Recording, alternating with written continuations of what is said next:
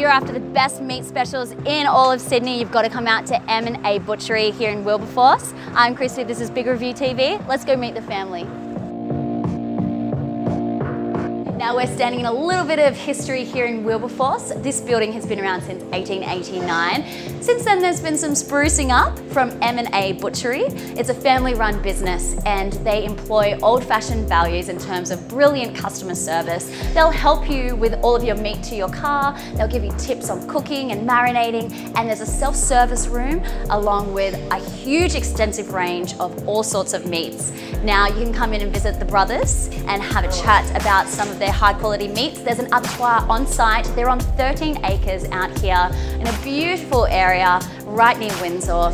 So now you can jump onto Facebook and Instagram and give them a like to keep updated with their local specials. People are coming from the Shire right up to the Northern Beaches just to come in, stock up and know they have the best quality meat in town. I'm Christy, this is Big Review TV.